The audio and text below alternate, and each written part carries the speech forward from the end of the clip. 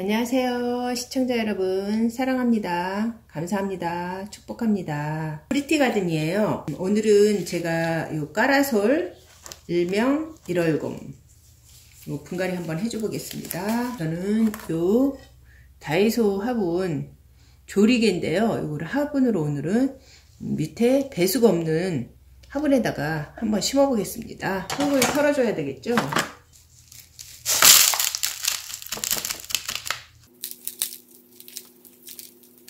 저는 이제 분갈이 하면서 흙의 상태를 많이 보는데요. 이 흙은 일반 흙에서 자라고 있던 것 같아요. 음, 까라솔이 어, 저는 이렇게 노랗게 물드는지 처음 알았어요. 이제 햇빛을 적당히 잘 쏘여주고 성장기가 되면 이렇게 가운데서부터 이렇게 물이 든다고 한답니다.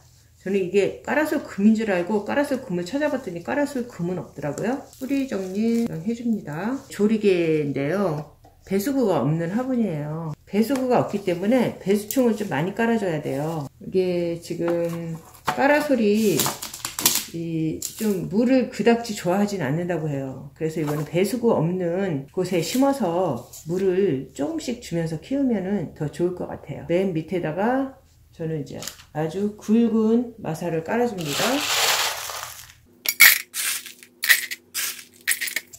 굵은 마사를 4분의 1 정도 깔아줬고요.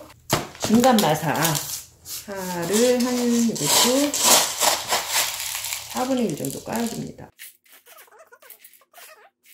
한 2분의 1 정도 이 정도 깔아줬습니다. 음, 흙은 이게 7대 3으로 섞었어요.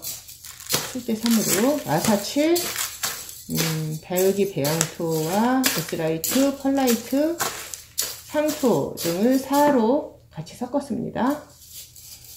네, 그래서 아주 넣어줘요.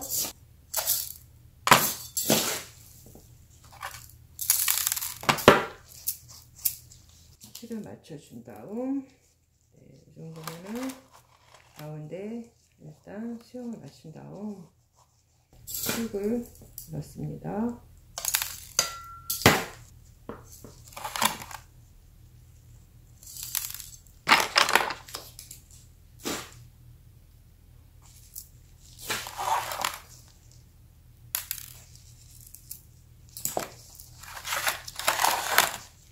수영을 제대로 잡았죠. 네, 한 10분의 1 정도 흙을 채워준 다음에 음, 좀 다져줍니다.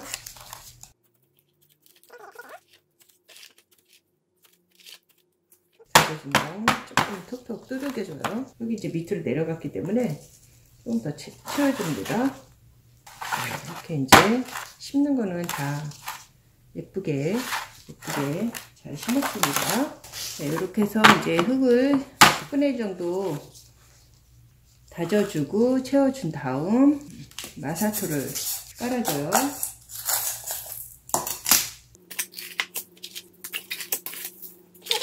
이렇게 잔 마사토까지 깔아줘서 분갈이가 완성됐습니다. 지금부터 카라솔 키우는 방법에 대해서 알려드리겠습니다.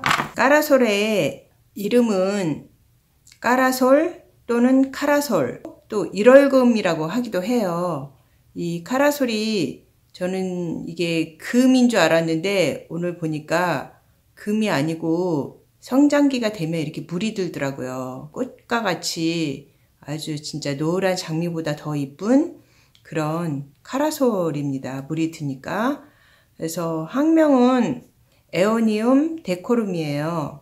그리고 원산지는 모르코고요. 생육 온도는 10도에서 25도 사이면 좋고요. 그리고 이거는 물을 그다지 좋아하지 않아요. 그래서 저 배수가 없는 물 조리개에 분갈이를 했거든요. 그래서 이거는 물을 줄 때는요, 이렇게 분해 흙이 완전히 마른 다음에 음, 밑에 배수충을 한 2분의 1 정도 완전히 깔았기 때문에 위에다가 살살살 물을 조금씩 주시면 됩니다. 그리고 배수구가 있는 경우는 음, 물을 아주 흠뻑 주셔야 돼요. 저면간수로 흠뻑 주시면 돼요. 3, 4시간 정도 담가 놓으시면 되고요. 물을 너무 자주 주고 음지에 두면 웃자라고 모양도 좋지가 않아요. 빛을 강한 빛을 굉장히 좋아하긴 하지만 빛을 보는 시간은 천천히 늘려가야 돼요. 요거는 늘려가야 이 까라솔이 타지 않고 아주 이쁘게 지금처럼 이렇게 이쁘게 물이 든답니다. 이것도 뭐 다른 다육이와 마찬가지로 통풍이 잘 되고 햇볕을 많이 받을수록 좋아합니다. 네, 그래서 오늘은 이렇게 까라솔 분갈이와 까라솔 키우는 법까지 알아봤고요. 음, 요것도 사랑과 정성으로 키우시면 이게 키가 굉장히 잘 자라는 썬버스트나 캐시미어, 어, 흑법사 아, 이런 것처럼 키가 아주 크고 부성하게 나무처럼 잘 자라는 그런 까라솔이에요. 그리고 이거는 그렇게 나무처럼 자라면서도 어, 아주 이쁜 꽃과 같이 꽃송이와 같이 여러 개를 달려주는 그런 까라솔입니다. 까라솔에 대해서 이렇게 알아봤고요. 어, 오늘도 오늘 월요일이니까 힘차게 시작하시고 어, 행복하고 즐겁고 어, 건강한 한 주 되시길 바랍니다. 감사합니다. 다음 시간에 뵐게요.